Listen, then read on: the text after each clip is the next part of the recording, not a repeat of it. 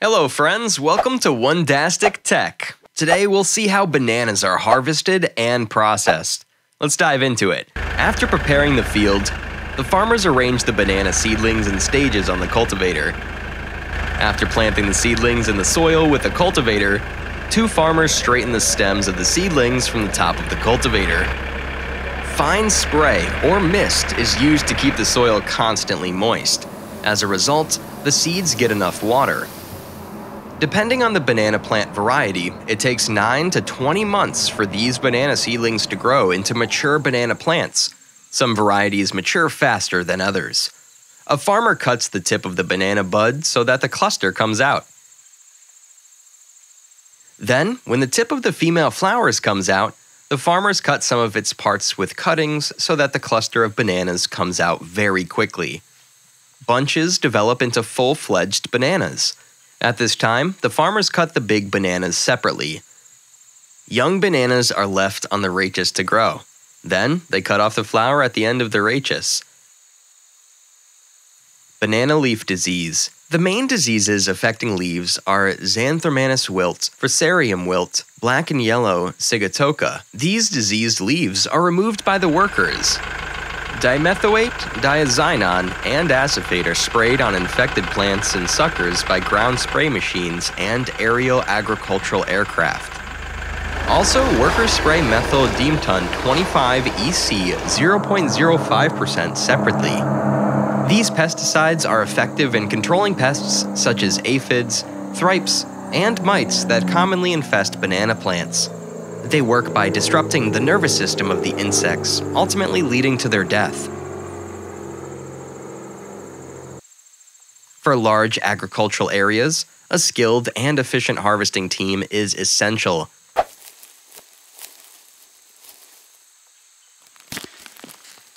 First, they measure the size of the banana and confirm the ripeness of the banana. It's a bunch of bananas, it is an adult banana tree. Not only that, but it is from the sides of fully grown banana plants that suckers usually grow. This is the fastest growing banana plant inside the sucker. Workers carefully cut each bunch of bananas from the plant alias.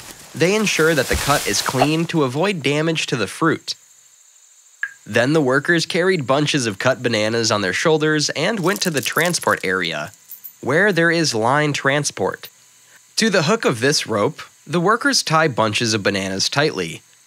Next, these bunches of bananas go to the washing area, where workers spray the bananas very finely with water.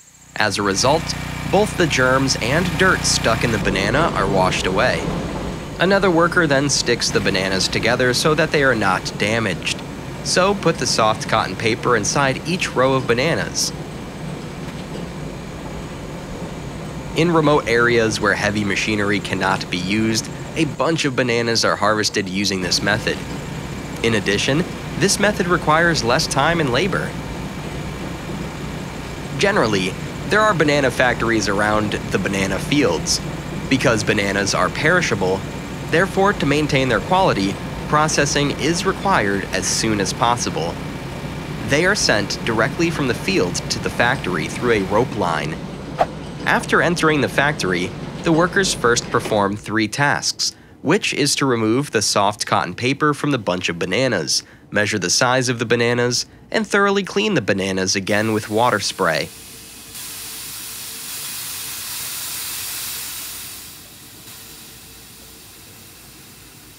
Next, an expert cuts a banana from a bunch of bananas to confirm its freshness. Then begins the stage of final washing these bananas. Here, these workers cut the big bunch of bananas into small bunches and throw them in clean water. They then proceed to gently place the small bunches into clean water, ensuring that they are thoroughly cleaned before further processing.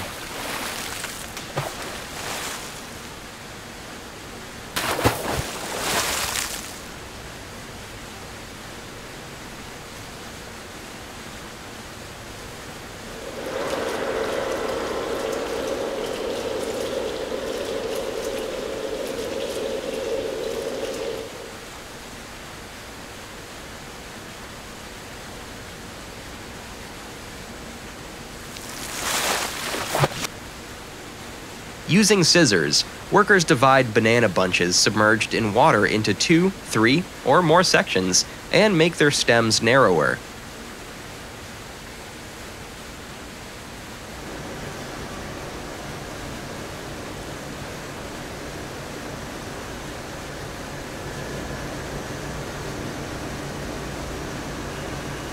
Then these bananas are filled by the workers in the tray, and when the specified weight is confirmed, the bananas are taken to the packaging line. Now, we will see how these bananas are packed in the factory. This worker is placing bananas in certain rooms on the sealing line. As a result, when these bananas go through the sealing machine, the bananas are packed without any damage. gives a kind of chemical liquid on the cut stem of the banana so that there is no infection with the cut part. The company's sealed bananas then come to the factory's container packaging room, where workers fill paper containers with these sealed bananas.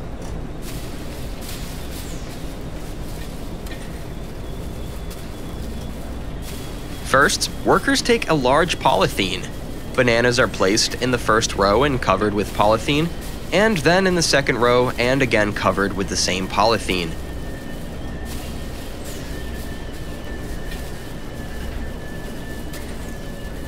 Then, these workers take the air out of the polythene through a vacuum machine. Now, we'll see how banana chips are made in the factory from these bananas. In another part of the factory, the peel of these bananas is manually removed by the factory workers. As a result, what remains is the edible white part called the pulp. These apron clad workers press the white part of the banana into the grinder machine. As a result, those white areas look exactly like this. Then they are taken to the frying area of the factory and fried in hot oil. Later, these banana chips move through the conveyor line to the packaging area of the factory where workers carefully fill the containers with chips.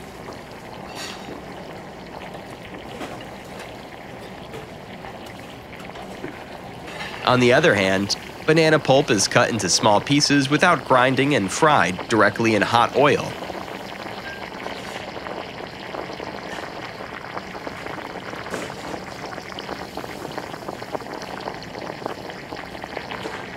These banana chips are then fed through a conveyor into a rotating disc. As a result, the oil on the chips is extracted and the chips are completely dry. Then, these chips are run through the mixing machine to further enhance the flavor. Consequently, in this case, factory workers help arrange the chips on the line.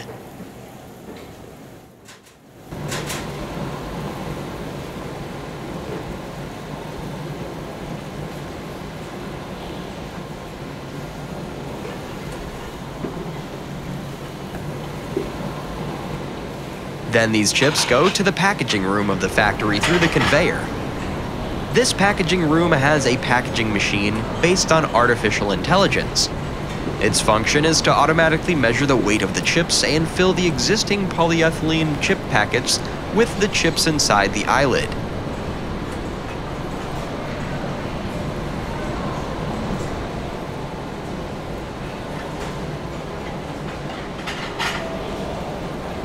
When these banana chip packets are filled, the workers collect those packets and fill them in paper containers.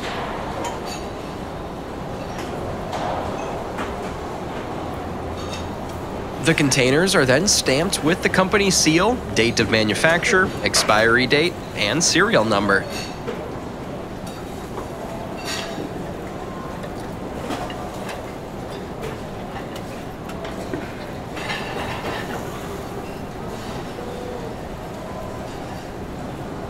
Then, workers manually tape the mouths of these containers. After the containers are taped, they are stacked and prepared for transportation or storage. This manual taping process ensures that the contents of the containers remain secure and protected during handling and transit. Now these bananas and banana chips are ready for market sale and export. Thanks for joining us on this fascinating journey through the banana processing world. If you found this video informative, please subscribe for more exciting content.